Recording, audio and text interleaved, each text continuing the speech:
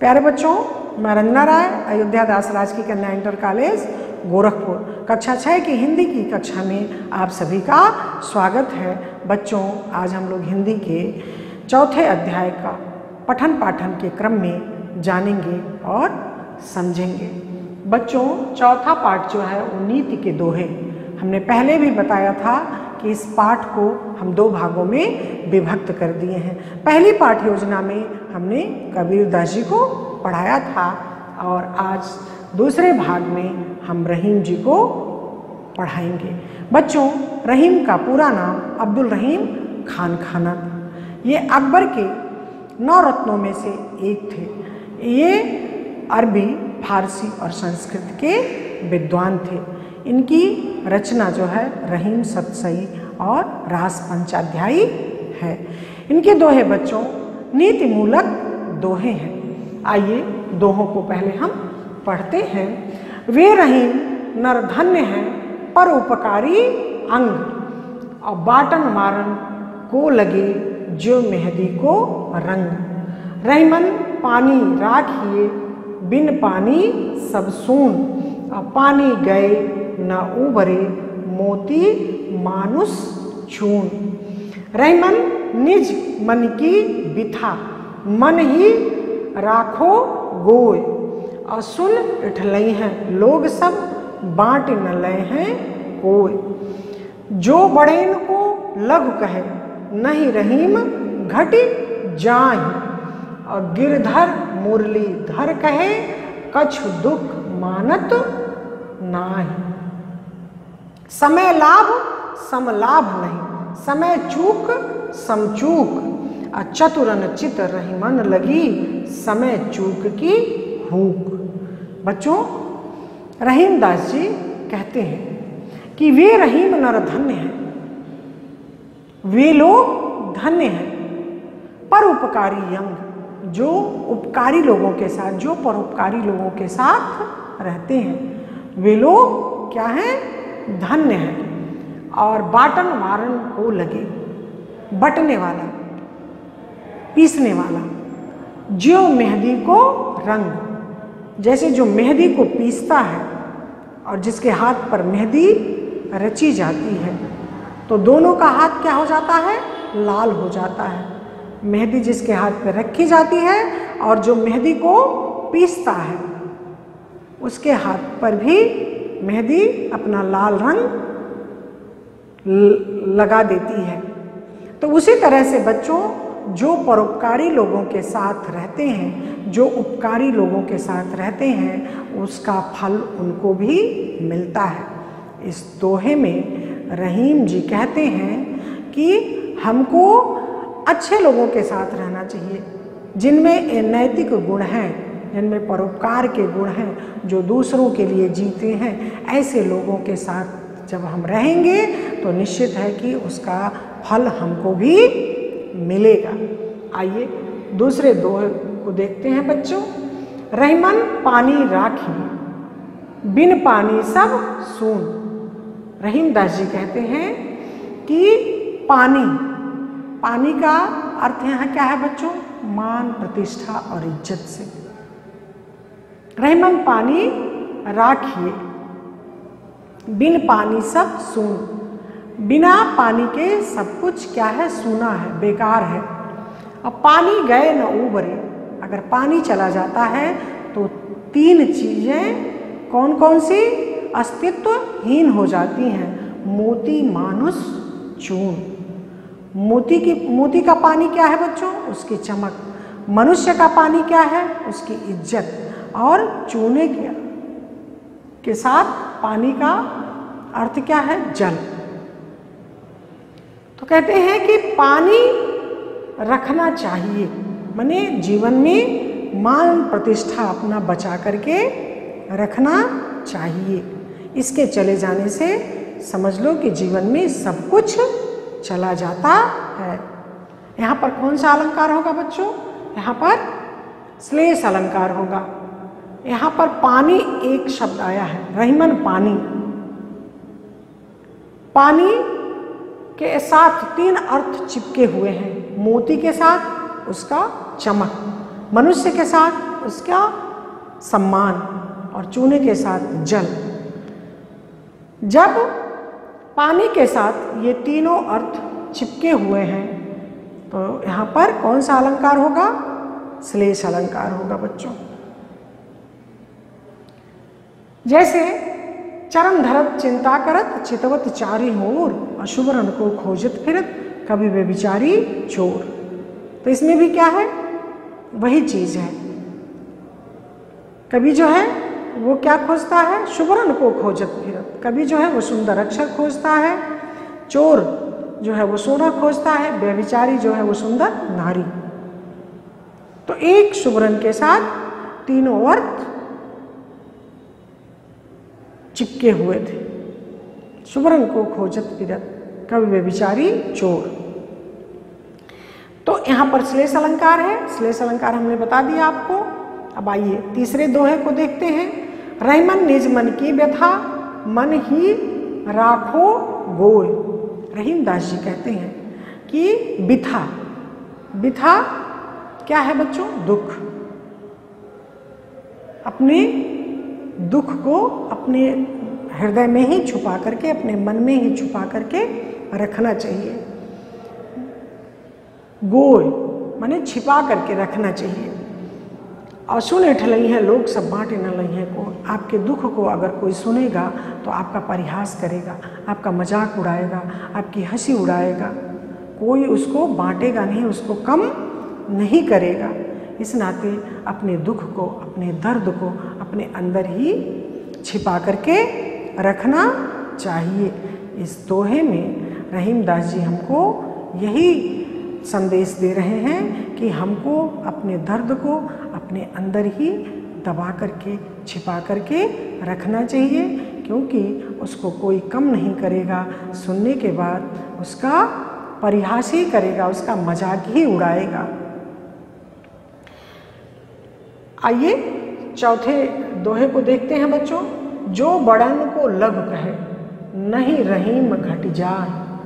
और गिरधर मुरलीधर कहे, कछ दुख मानत नाई जो बड़े लोग हैं, बड़े लोगों का मतलब जो अच्छे लोग हैं, जिनका समाज में एक स्थान है, जो अपने कर्मों के, अपने सत्कर्मों के बल से अपना स्थान बनाए हुए हैं, उनको अगर कोई छोटा भी कहे यानी जो लोग अच्छे हैं, अगर उनकी कोई बुराई भी कहे तो रहीम दास जी कहते हैं कि उनका कुछ नहीं बिगड़ता, उनका कुछ कम नहीं होता। जो अच्छा है, वो अच्छा है।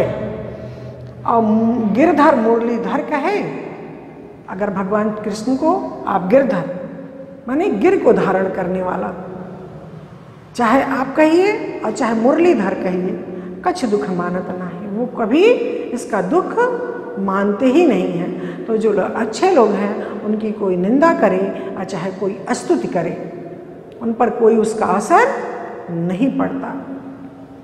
आइए, आखिरी दोहे को हम देखते हैं बच्चों।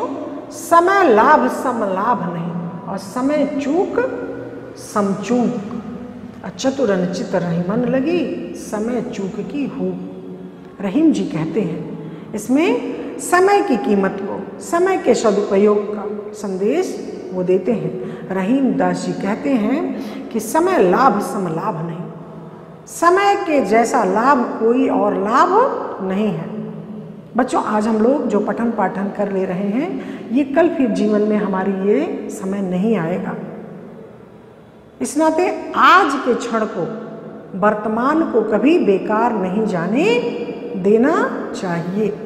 एक एक सेकंड जीवन का जो है एक एक सेकंड जो है बहुत ही महत्वपूर्ण है। समय की कीमत को समझना चाहिए, उससे बड़ा कोई लाभ नहीं है।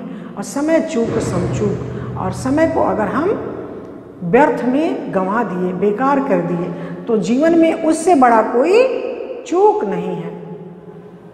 और चतुरन चित रही मन लगी, समय चूक की हुक और अगर जो लोग जीवन में रहीमदास जी कहते हैं कि जो लोग जीवन में समय को चूक जाते हैं, समय की कीमत को नहीं समझते हैं, उसकी कसक उनके मन से कभी नहीं जाती।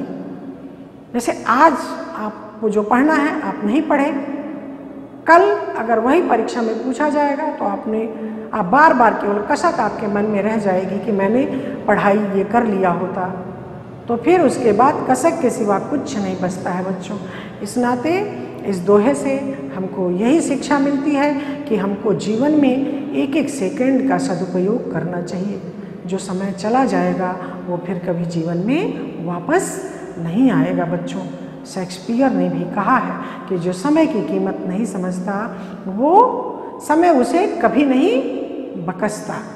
जो सक्सेसफुल मैन है, वो कभी किसी परेशानी को आड़े नहीं आने देते और जो अनसक्सेस हैं, जो सफल नहीं हैं, वो किसी चीज़ को सामने खड़ा करके उसके पीछे खड़े हो जाते हैं कि मैंने इस वजह से नहीं पढ़ाई की, मैंने इस वजह से ये कार्य नहीं किया। नहीं बच्चों, हमको जीवन में एक एक सेकंड का सदुपयोग करना चाहिए। समय की कीमत जीवन में बहुत महत्वपूर्ण है। अगर हम समय को गंवा देंगे तो फिर हमारे जीवन में वो समय दोबारा लौट करके नहीं आएगा। आइए बच्चों, इस पाठ में जो कठिन शब्द आए हैं, उसका अर्थ हमने लिख दिया है बाटन वारी। यानी सिल बट्टे पर इसे पिसने वाला, बिथा, व्यथा या दुख गोय माने छिपा करके, हुक माने कसक। और तत्सम शब्द लिख दिया हमने। मानुष, मनुष्य, शब्द शब्द कृपा कृपा अब बच्चों, इसको आप अपनी कॉपी में कर लीजिएगा। हाँ बच्चों, आइए हम लोग देखते हैं कि निम्नलिखित दोहे का संदर्भ सहित व्याख्या कीजिए। वे रहीम नरधन्य हैं। जो कारी अंग। अगर ये पूछता है तो शुरू का हमने जो रहीम और को रंग लिख दिए हैं। इस दोहे का संदर्भ व्याख्या कीजिए। तो संदर्भ हम देखो, लिखे हैं बच्चों, प्रस्तुत पद्यांश हमारी पाठ्यपुस्तक मंजरी के नीति के दोहे से लिया गया है। इसके रचयिता रहीम जी हैं। इसका संदर्भ आप ऐसे ही लिखिएगा। अब देखिए इसका प्रसंग। यह रहीम जी का नीति मूलक दोहा है। इसमें जीवन के मूल्यों का सरस वर्णन हुआ है। ये लिख करके बच्चों, फिर आप इसकी व्याख्या करिएगा। वे रहीम नरधन्य हैं। इसकी व्याख्या कर लीजिएगा। दूसरा प्रश्न है कि निम्नलिखित शब्दों के दो दो अर्थ लिखिए। पहला है तीर। तीर का अर्थ क्या होता है? बाण। और तीर का अर्थ, बच्चों, नदी का किनारा भी होता है। पट। पट माने होता है कपड़ा और पट माने द्वार भी होता है। तो ये दो दो अर्थ, सारंग। सारंग का अर्थ होता है सिंह और सारंग का अर्थ हाथी भी होता है। तो ये अपनी कापी में आप कर लीजिएगा बच्चों। आइए हम लोग गृह कार्य की ओर चलते हैं। पहला है कि अपने मन की व्यथा को मन में ही क्यों रखना चाहिए? जैसा कि हमने आपको पढ़ाया था बच्चों, इसका आप उत्तर अपनी कापी में लिखिएगा। और दूसरा है श्रवण द्वार व संचर सारले सकल शरीर। में कौन सा अलंकार होगा? में कौन सा अलंकार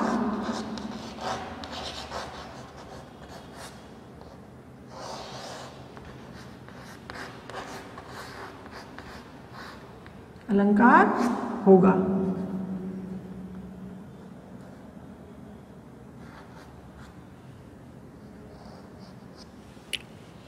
संचर्य में कौन सा अलंकार होगा? बच्चों, हमने पहले भी आपसे बताया था कि जब एक ही वर्ण की आवृत्ति एक से दो बार हो तो वहाँ पर अनुप्रास अलंकार होता है। तो आप इसमें देखिएगा कि श्रवण द्वार है संचर साले सकल शरीर में कौन सा अलंकार होगा बच्चों? ये गृह कार्य है। आप इसको कर लीजिएगा अपनी कापी में। अब हम आते हैं सम प्राप्ति की ओर। हमने क्या इस नीति के दोहे से। जो नीति के दोहे पाठ था, उसमें हमने क्या अपने जीवन में अनुभूत किया? क्या हमने आत्मसात किया? बच्चों, जीवन जीने के लिए आचार, विचार, व्यवहार। जीवन को कैसे जी करके जीवन को सार्थक बनाया जाए? मनुष्य में कैसे मनुष्यता का उदय हो?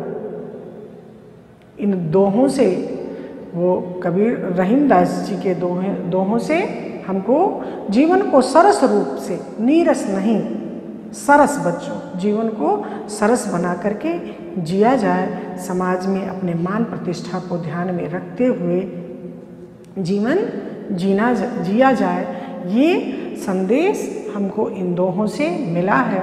हम अपने जीवन में इसको क्या करेंगे? निरूपित करेंगे। जीवन के जिस भी क्षेत्र में जाएँगे, इन भावनाओं से उस क्षेत्र को अभिसिंचित करें और परिवार का, समाज का, राष्ट्र का भाल ऊँचा करें। धन्यवाद बच्चों। अगली पाठ योजना में फिर मिलेंगे।